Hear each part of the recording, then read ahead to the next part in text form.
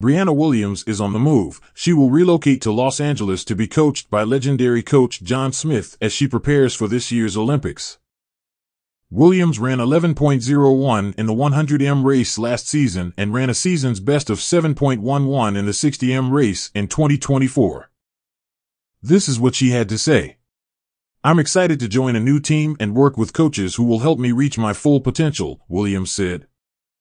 I've achieved a lot so far, but I know I can do even better with the right support and training. I'm looking forward to pushing myself and seeing how far I can go.